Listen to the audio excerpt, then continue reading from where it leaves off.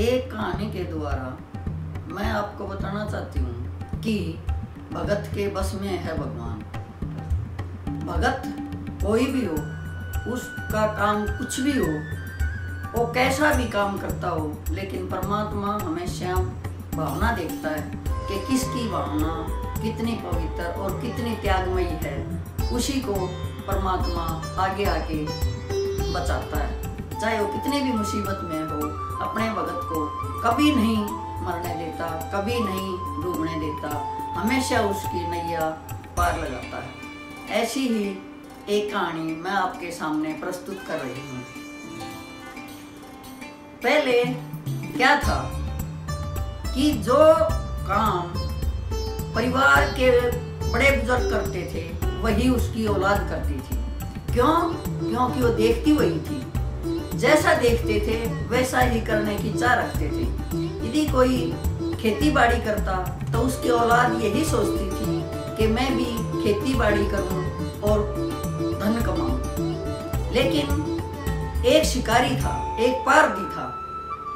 उसके बुज़ुर्गों का क्या काम था कि वो सुबह उठ के खाना खा के एक टोकरा और जाड़ लेके जंगल में जाते थे और वहाँ से तीतर बटेर मार के लाते और वापस घर आके बाज़ार में उन्हें बेच देते।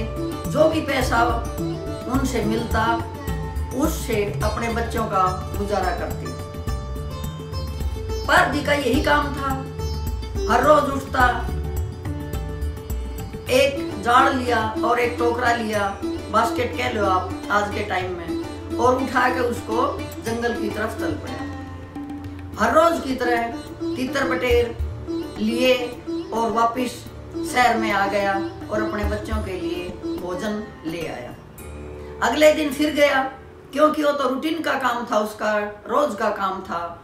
ऐसे ही करता था, जैसे कि उसके बड़े बुज़ुर्ग करते थे। फिर क्या हुआ कि जहाँ भी हो गया, जिस पेड़ के नीचे जाए, सभी के सभी पक्षी उड़ जाएँ। जिस पेड़ के नीचे जाए, सभी पक्षी उड़ जाए। निराश होकर शिकारी पारदी वापस लौट आया। उसकी पत्नी कहने लगी, आज बच्चों को भोजन कहाँ से खिलाएँगे? भोजन की व्यवस्था तो हुई नहीं, क्योंकि उसे तीतर बटेर मिले नहीं, बाज़ार में बिके नहीं तो भोजन कहाँ से आता?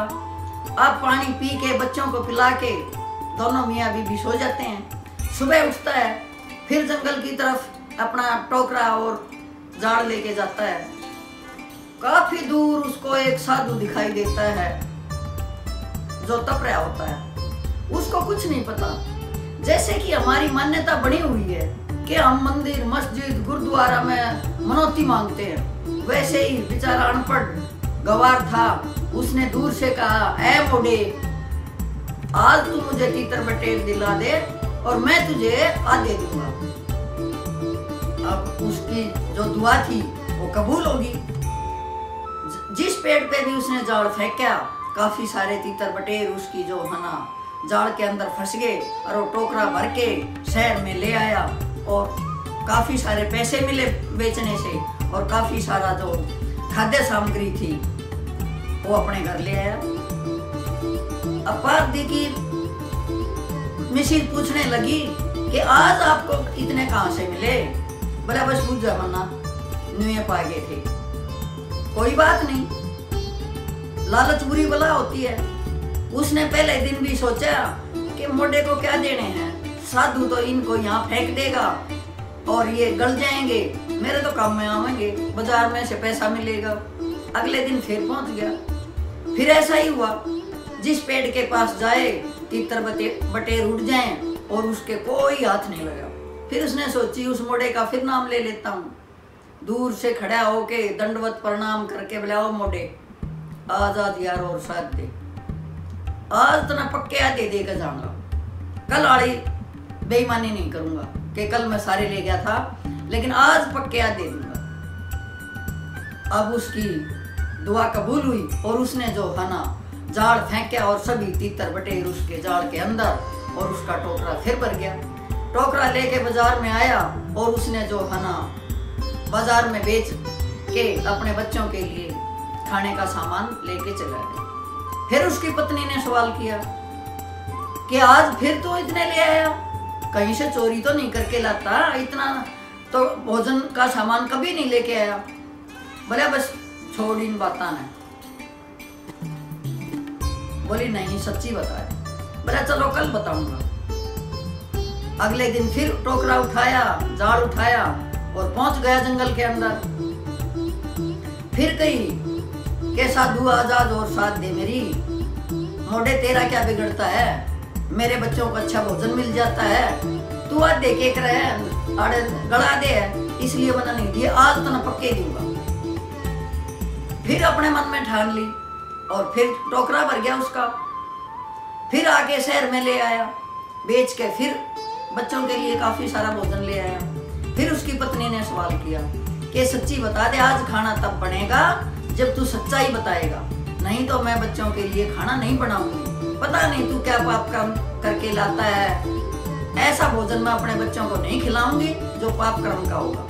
यदि सदकर्म का होगा, तेरी मेहनत का होगा तो ही खिलाऊँगी। नहीं तो मैं बच्चों को भोजन नहीं खिलाऊँगी।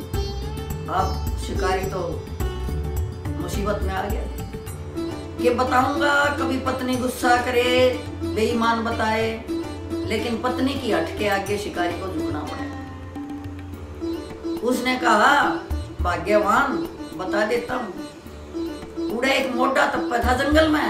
मन ने जो हना उसको दंडवत प्रणाम करे दूर तय और उसको बोल दिया कि यदि मेरे को ज़्यादा सारे तीतर बटेर मिल गए तो मैं इतना दे दूँगा। और तीन दिन हो गए मैं उसका नाम लेता हूँ। मेरे को काफ़ी सारे तीतर बटेर मिलते हैं, टोकरा भर जाता है। लेकिन मेरा मन पापी है, लालची है। और लालच में मैं उसको नहीं दे के आता और सारे के सारे ला के बाज़ार में बेच देता हूँ और उनसे भोजन ले आता हूँ। अब शिकारी की पत्नी बोली कि आपने तो बहुत गलत किया?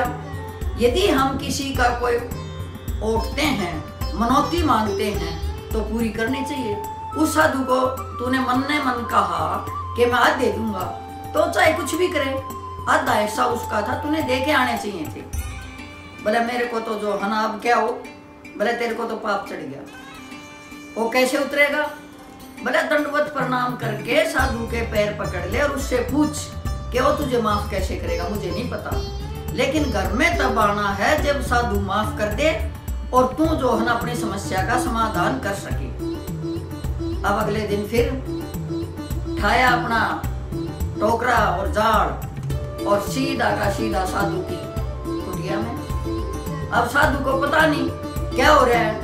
उसने जाके फेंक के अपना टोकरा और जाड़ और साधु के पैर पकड़ लिए। बुलाए मोड़े, आँख खोल। अब साधु ने सोची, ये क्या बात है? कैसे बोल रहे हो? लेकिन वो बड़ा इंसान था। उसके मन में उसके प्रति आदर था। लेकिन उसकी भाषा ऐसी थी कि वो उसे, ऐसे ही उसे बोलना आता था। अब साधु ने आँख खोली, बोला, बोल, क्या बात है? बोला, मोड़े, ये बता कि तीन दिन हो गए। तेरे हिस्से के तीतर बटेर में ले जाता हूँ और अपने बच्चों के लिए भोजन ले जाकर उन्हें खुआ देता हूँ। तो तेरे जो तीन दिन के हिस्से के तीतर बटेर थे, वे मैंने खुद यूज़ कर लिए। अब ये बता के वो पाप कैसे उतरेगा? अब साधु ने सोचा है तो घोड़ा, पागल इंसान। चलो इसका भी समाधान करते हैं। साधु बोला, क्या तू वो काम करेगा जो मैं कहूँगा? बोला क्यों बता दे। मैं तो आ गया करते हैं। तेरा काम पक्का करके जाऊँगा। बोला तो इस जंगल में एक गऊ चरा हुआ है, छोटा ही, बालक से ऊन लिया और तेरे तेरे को माफ़ कर दिया, यूँ मान ले। जब तू उसने लिया होगा तो तेरे को माफ़ी मिल जाएगी। बोला के कहना है? बोला के मार लिए कृष्ण गोपाला के और वो पा जाएगा, उन्हें लिए। बोले याद क्यों मेरी बात को पौड़ी ठा के लेना है। पौड़ी ना तो मैं ही लिया कंध दर के। लेकिन उस बूढ़े इंसान को पता नहीं था कि साधु भगवान के बारे में बोल रहा है। अब वो चल पड़ा। जंगल में आवाज़ लगाई, कृष्ण गोपाला कृष्ण गोपाला, कहीं सा पाड़ी दिखाई नहीं दिया। न गैया दिखाई दी, न पाड़ी दिखाई दिया, कुछ दिखाई नहीं दिया। अब भगवान ने सोची कि चलो, शिकारी है, भोला इंसान है, इसे कुछ ज्ञान तो है नहीं। आंधी चला देता हूँ। अब आंधी इतनी ज़ोर की आंधी चली कि रेत के नीचे दब गया। अब आधा घंटे के बाद आंधी रुक गई, रेत झाड़ कर फिर खड़ा हो गया। बोले, ओ भगवान, तू कर ले कि मैं मैं नहीं जाया करता। ओ पाली पालेगा जब जाऊँगा, मैं के पाली ना छोटू हूँ अब भगवान ने सोची बड़ी मुसीबत। ये नहीं जाने वाला। सुबह से शाम होगी, घूमते घूमते जंगल में थक गया, पानी नहीं और कुछ नहीं। परमात्मा ने क्या किया कि बरसात कर दी। बरसात की, इतनी बरसात की तो पेड़ पे चढ़ के बैठ गया। बोला भगवान तू कर ले कि मैं? मैं नहीं जा करता। वो पाली था होगा जब जाऊँगा वो पाली था होगा जब बड़ा मोटा मना शराब मुक्त करेगा मैं जब जाऊँगा जब पाली मिलेगा भगवान ने सोची बड़ी मुसीबत ये बोला इंसान नहीं मानने वाला उसके बाद फिर धूप भी हुई ऊपर से टांट जड़ा नीचे से पैर जड़े तन पे कपड़े थे ही नहीं फटे पुराने थे पसीना आया प्यास प्यास लगी खाया नहीं पिया नहीं भूखा प्यासा बोला मैं नहीं जाया करता मैं जब जाऊँगा जब पाड़ी मिलेगा अब भगवान सोचने लगा कि यदि ये इंसान यहाँ मर गया, इसकी मृत्यु होगी तो तेरे पे कलंक लग जाएगा। यूँ कहते हैं, भगत के बस में है भगवान। यदि इसकी रक्षा नहीं हुई तो मेरे ऊपर कलंक लग जाएगा। और भगवान ने क्या किया? माया रूपी पाँच चार गैया बनाई और छोटा सा डंडा लेके छोटा बच्चा बन के और शिकारी के सामने जाके गैया चराने लग गया। अब देखा शिकारी ने? बोला, तन्ना तो दुखी कर रखा था, मैं पाली। कह दिन हो गए, अड़े, भूखे ते साए ने। ईब ले जाकर उस मोडे ने दूँगा, और ओ मन शराब मुक्त कर देगा, फिर अपना में जाऊँगा, ठाठ में। अब उसने भगवान को उठाया, कंधे पे बिठाया, और कंधे पे बिठा कर साधु की कुटिया में गया। बोले मोडे आँख खोल। देख तेरा पाली न ठा लिया हूँ मैं। यो तेरा पाली ले और मन ने श्राप मुक्त कर। मेरा पेंडा छोड़ दू। अब देखा साधु ने। ओहो एक शिकारी के कंधे पे भगवान। हाथ जोड़ के साधु और शिकारी के पैरों में गिर गया।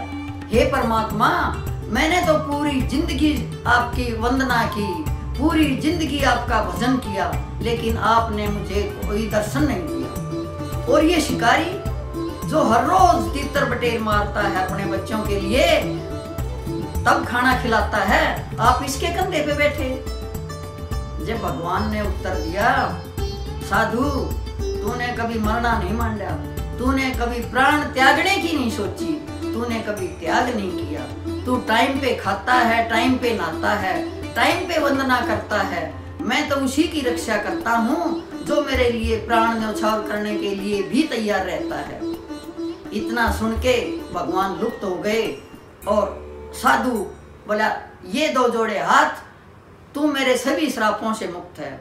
उसके पीछे से क्या हुआ कि जो शिकारी की पत्नी थी, उसके पास जो पैसा था बचा खुचा उससे उसने छोटी सी दुकान कर ली और उस खुद सामान, खाद्य सामग्री बेचने लगी और उससे उसका गुजारा चलने लगा।